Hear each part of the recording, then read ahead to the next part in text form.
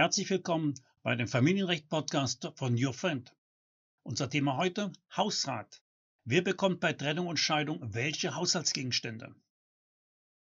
Wir sprechen darüber, welche Haushaltsgegenstände überhaupt unter den Ehepartnern aufgeteilt werden müssen, welche Gegenstände im Haushalt keine Haushaltsgegenstände sind oder wem die Einbauküche gehört, wem Hund und Katze gehören, wer das Familienfahrzeug beanspruchen darf und vor allem, welche Optionen Sie haben, um sich bei der Aufteilung der Haushaltsgegenstände irgendwie zu einigen. Da Ihre Trennung und Scheidung vom Partner sicherlich eine Reihe weiterer Fragen aufwirft, finden Sie auf unseren Portalen trennung.de, scheidung.de und unterhalt.com weitere hilfreiche Ratgeber, die viele Detailfragen zum Thema Trennung und Scheidung ansprechen. Also kommen wir zum Thema. Die Trennung vom Partner bedeutet meist auch die Trennung von einer Reihe von Haushaltsgegenständen. Jeder Partner wird bestrebt sein, möglichst viel für sich zu akquirieren. Derjenige, der aus der ehelichen Wohnung auszieht, muss einen eigenen Hausstand begründen. Derjenige, der in der Wohnung verbleibt, wird auf so wenig wie möglich verzichten müssen. Möchten Sie dieses Dilemma irgendwie lösen, sollten Sie wissen, welcher Hausrat oder welche Haushaltsgegenstände wem gehört und wer was bei Trennung und Scheidung beanspruchen kann. Bestenfalls bereiten Sie mit einer einvernehmlichen Lösung auch den Weg zu einer einvernehmlichen Entscheidung vor. Nehmen wir sieben wichtige Punkte vorweg. Hausrat sind alle Haushaltsgegenstände, die Sie für Ihre gemeinsame Lebensführung in der Ehe angeschafft haben. Im Zweifel hat jeder Ehepartner einen Miteigentumsanteil. Zweitens. Müssen Sie Ihre Haushaltsgegenstände wegen der Scheidung aufteilen, kommt vorrangig die Teilung in Natur in Betracht. Dazu müssen Sie sich einigen, wer was bekommt. Teilung in Natur bedeutet, dass Sie beispielsweise Bargeld untereinander aufteilen. Drittens. Im Zeitraum Ihrer Trennung kann die Zuordnung eines Haushaltsgegenstandes zeitlich befristet erfolgen, ohne dass es auf die Eigentumsverhältnisse ankommt. Spätestens mit der Scheidung empfehlen sich jedoch klare Verhältnisse. Viertens. Persönliche Gegenstände gehören dem jeweiligen Ehepartner. Fünftens. Schenkungen bleiben Schenkungen, es sei denn, Sie haben sich vorbehalten, die Schenkung für den Fall der Scheidung zurückzufordern. Sechstens, möchten Sie die Aufteilung der Haushaltsgegenstände möglichst einvernehmlich bewerkstelligen, sollten Sie nach einem strengen Schema vorgehen. Wir erklären dazu später, wie Sie dabei vorgehen. Siebtens, sollten Sie den Richter bemühen, erhöht sich der Verfahrenswert für Ihre Scheidung um einen zusätzlichen Verfahrenswert von mindestens 3000 Euro. Sprechen wir über Details. Was ist Hausrat? Nun, mit Hausrat sind seit dem Jahr 2009 Haushaltsgegenstände gemeint. Haushaltsgegenstände sind alle Gegenstände, die Sie während Ihrer Ehe angeschafft haben und die Sie zur gemeinsamen Lebensführung verwendet haben. Im Zweifel ist auf die Eignung, Funktion und Zweckbestimmung abzustellen. So ist die Wohnungseinrichtung, also Möbel, Teppiche, Geschirr, typischer Hausrat und sind typische Haushaltsgegenstände. Alles, was zu Ihrem Hausrat gehört, steht in Ihrem gemeinsamen Eigentum. Es kommt aber nicht darauf an, wer die Anschaffung eines einzelnen Gegenstandes bezahlt hat oder ob sie den Gegenstand im eigenen Namen gekauft haben und die Rechnung auf ihren Namen ausgestellt wurde. Im Zweifel vermutet das Gesetz, dass alle Gegenstände, die sie in der Ehe für den gemeinsamen Haushalt angeschafft haben, beiden Ehepartnern gemeinsam gehören. Also, welche Gegenstände sind Haushaltsgegenstände und gehören zum Haushalt?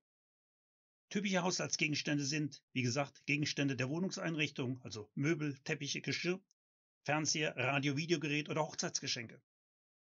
In Abgrenzung dazu sind keine Haushaltsgegenstände, Gegenstände, die ihrer persönlichen Nutzung dienen, wie Kleidung oder die Zahnbürste, Schenkungen, Erbschaften, Gewinne, da diese nicht für den gemeinsamen Haushalt angeschafft wurden oder angefallen sind, Gegenstände, die ihrer Berufsausübung dienen, wie Computer, Fachliteratur oder das Arbeitszimmer, oder Gegenstände, die sie nach der Trennung für den eigenen Haushalt erworben haben.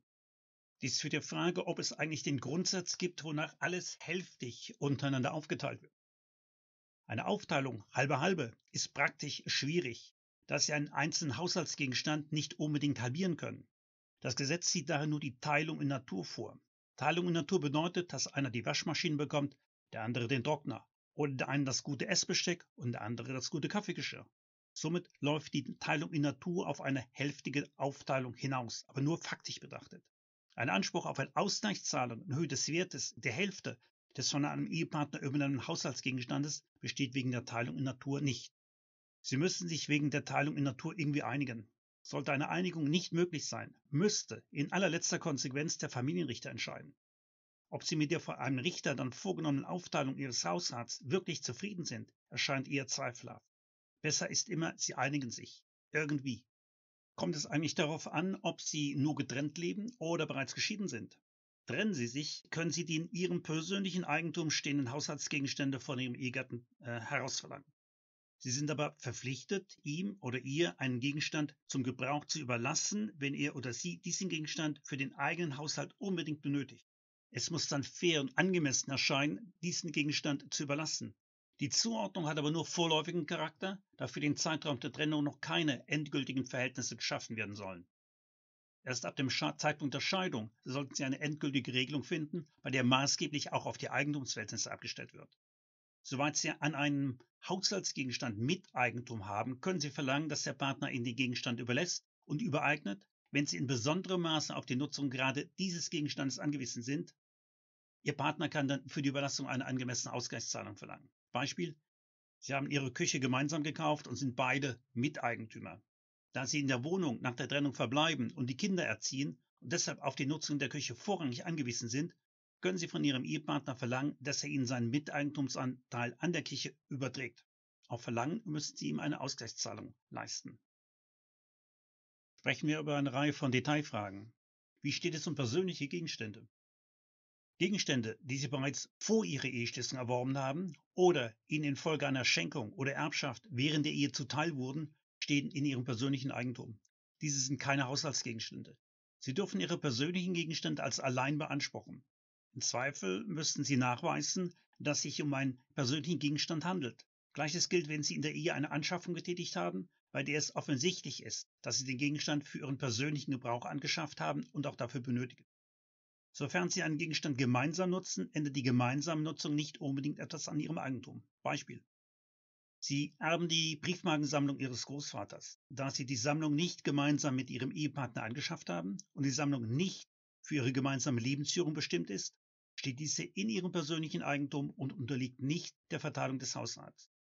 Oder sie kaufen sich ein Segelboot, weil sie begeisterter Skipper sind und schippern alleine über ihren heimischen See. Das ist damit offensichtlich, dass das Segelboot in ihrem alleinigen Eigentum steht. Oder wem gehört die Einbauküche? Haben Sie die Einbauküche gemeinsam angeschafft, ist sie im Regelfall Hausrat und steht normalerweise in Ihrem gemeinsamen Eigentum. Können Sie die Küche problemlos wieder ausbauen, gehört sie Ihnen gemeinsam und ist auch Haus und bleibt Hausrat. Sie müssen sich irgendwie einigen, wer die Küche letztlich erhält. Ist die Einbauküche jedoch untrennbar mit der Wohnung verbunden und würde durch den Ausbau erheblich in Mitleidenschaft gezogen, gilt sie als wesentlicher Bestandteil der Wohnung und ist somit nicht unbedingt Hausrat. Dann teilt sie im Regelfall das Schicksal der Wohnung. Derjenige, der Eigentümer der Wohnung ist, oder die Wohnung in sein alleiniges Eigentum übernimmt, übernimmt auch die Einbauküche als Inventar. Oder wem gehören Hund und Katze? Tiere sind kein Hausrat, sind keine Haushaltsgegenstände. Dennoch werden sie wie Hausrat und Haushaltsgegenstände behandelt. Soweit das Tier nicht in ihrem alleinigen Eigentum steht, gehören Hund oder Katze beiden Ehepartnern gleichermaßen. Da es insoweit der Hausratsverteilung unterliegt, müssen sie sich irgendwie einigen, wer das Tier künftig betreut.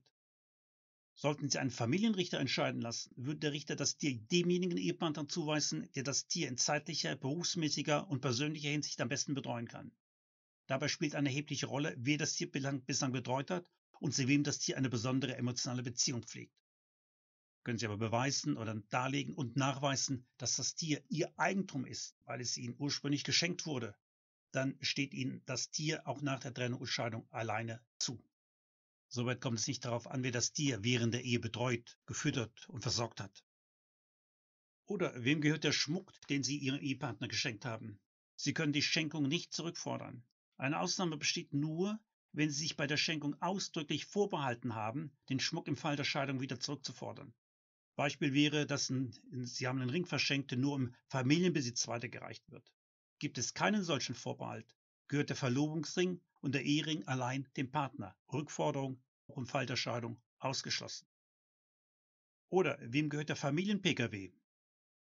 Geht es um ein Kraftfahrzeug, gibt es keine klaren Regeln. Es kommt immer auf die Umstände an. Ein Pkw gehört nicht unbedingt demjenigen Ehepartner, der im Kfz-Brief als Halter eingetragen ist oder das Fahrzeug bezahlt hat. Unabhängig vom Eigentum kann das Fahrzeug zumindest für die Zeit der Trennung vorrangig einem Ehepartner zugewiesen werden. Beispiel. Sie fahren wegen dem schlechten öffentlichen Personenverkehr mit dem Pkw morgens Ihre Kinder zur Schule und holen sie nachmittags wieder ab. Zumindest für den Zeitraum der Trennung hatten Sie Anspruch darauf, dass sich an diesen Gegebenheiten erstmal nichts ändert. Haben Sie das Fahrzeug während Ihrer Ehe gemeinsam im Interesse der Familie angeschafft und genutzt, gehört es beiden Ehepartnern, unabhängig davon, wer im Kfz-Brief als Eigentümer eingetragen ist. Das Kfz ist insoweit Haushalts, ein Haushaltsgegenstand und Sie müssen sich irgendwie einigen, wer das Fahrzeug künftig allein nutzt. Sie können das Fahrzeug aber als eigenes Fahrzeug beanspruchen, wenn Sie es bislang allein vorwiegend genutzt haben. Dies kann der Fall sein, wenn Sie das Fahrzeug für den, äh, die Fahrtstrecke zum Arbeitsplatz genutzt haben. Haben Sie das Fahrzeug dann auch noch bezahlt und stehen Sie im Kfz-Brief als Halter, lässt sich Ihr Eigentum im Regelfall problemlos nachweisen, sodass das Fahrzeug nicht der Hausratsverteilung unterliegt. Also, beanspruchen Sie das Fahrzeug für sich alleine, sprechen folgende Kriterien für Ihr alleiniges Eigentum. Sie sind im Kaufvertrag als Käufer bezeichnet. Sie haben das Fahrzeug mit eigenen Mitteln bezahlt. Sie haben das Fahrzeug im eigenen Namen allein finanziert. Sie sind im Kfz-Brief als Halter eingetragen. Sie benutzen das Fahrzeug überwiegend selber oder Sie benötigen das Fahrzeug für berufliche Zwecke. Gelingt Ihnen der Eigentumsnachweis, ist das Fahrzeug kein Haushaltsgegenstand und braucht nicht mit dem Ehepartner geteilt zu werden. Wie sollten Sie vorgehen, wenn Sie sich bei der Aufteilung der Haushaltsgegenstände einigen wollen? Die Aufteilung der Haushaltsgegenstände nach Trennung und Scheidung ist natürlich oft Anlass für heftigen Streit. Jeder will alles, keiner will auf irgendwas verzichten. Dennoch müssen Sie eine Lösung finden. Idealerweise gehen Sie vor wie folgt. Machen Sie erstmal eine Bestandsaufnahme Ihrer Haushaltsgegenstände. Listen Sie und der Ehepartner, jeder für sich, diejenigen Haushaltsgegenstände auf, die Sie während der Trennung alleine nutzen möchten. Überlegen Sie, warum gerade Sie vorrangig auf diese Nutzung angewiesen sind. Sind Sie bereits in Erwägung, ob Sie diese Zuteilung nur befristet wünschen oder ob sie auf Dauer Bestand haben soll? Überlegen Sie sich, ob Sie einen im Gemeinschaftseigentum stehenden Haushaltsgegenstand in Ihr alleiniges Eigentum übernehmen wollen. Kalkulieren Sie dabei ein, dass Sie den Partner für seinen Miteigentumsanteil möglicherweise entschädigen müssen. Beanspruchen Sie Gegenstände für sich als Eigentümer, sollten Sie vorsorglich Rechnungen oder Unterlagen recherchieren, mit denen Sie nachweisen können, dass Sie den Gegenstand bezahlt haben und dieser in Ihrem Eigentum steht. Gehören Ihnen Gegenstände gemeinsam, ohne dass Sie auf einen bestimmten Gegenstand besonderen Wert legen, sollten Sie sich verständigen, wer welchen Gegenstand erhält. Können Sie sich nicht im Wege des gegenseitigen Gebens und Nehmens einigen, bestimmt jeder Partner im Wechsel einen Haushaltsgegenstand, den er für sich reklamiert. Der Partner muss die Entscheidung akzeptieren. Danach ist er in der Reihe. Notfalls lassen Sie los oder Würfel entscheiden. Findet sich für einen Haushaltsgegenstand kein Interessent, können Sie per Losentscheid bestimmen, wer den Haushaltsgegenstand übernehmen muss.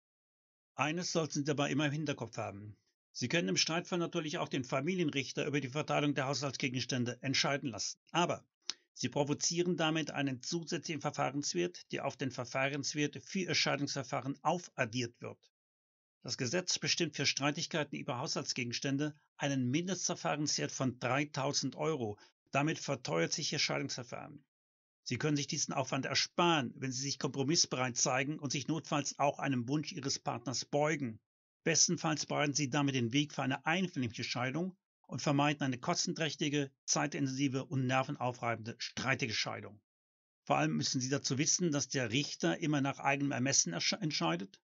Er wird zwar auf Ihre Befindlichkeiten Rücksicht nehmen, muss aber irgendwie, da er letztlich den schwarzen Peter hat, eine Entscheidung treffen, wem er welchen Haushaltsgegenstand überträgt. Überlegen Sie also, ob Sie sich auf eine derartige Ungewissheit wirklich einlassen wollen. Da Sie derartige richterliche Entscheidungen kaum vorhersehen können, sind Sie stets gut beraten, sich möglichst außergerichtlich zu verständigen. Dazu sollten oder müssen Sie bereit sein, Kompromisse einzugehen. Nur nehmen zu wollen, funktioniert genauso wenig wie nur geben zu müssen. Sie, ein kleines Fazit. Ihre Trennung und Scheidung verändert Ihre Lebensverhältnisse. Sie trennen sich nicht nur von Ihrem Ehepartner, sondern werden auch nicht umhin kommen, auf Haushaltsgegenstände zu verzichten. Wenn Sie anerkennen, dass auch Ihr Ehepartner Rechte hat, sollten Sie die Aufteilung so verhandeln, dass jeder etwas abbekommt. Geben und nehmen heißt die Devise. Wer glaubt, nur nehmen zu können, blockiert jegliche Einigung. Damit sind wir am Ende dieses Beitrags. Ich hoffe, wir konnten Ihnen eine Reihe von Ansätzen aufzeigen, wie Sie Ihre Haushaltsgegenstände nach Trennung und Scheidung untereinander aufteilen können. Ich bedanke mich für Ihr Interesse und hoffe, Sie demnächst wieder begrüßen zu dürfen. In diesem Sinne alles Gute und auf Wiederhören. Ihre Your Friend Redaktion.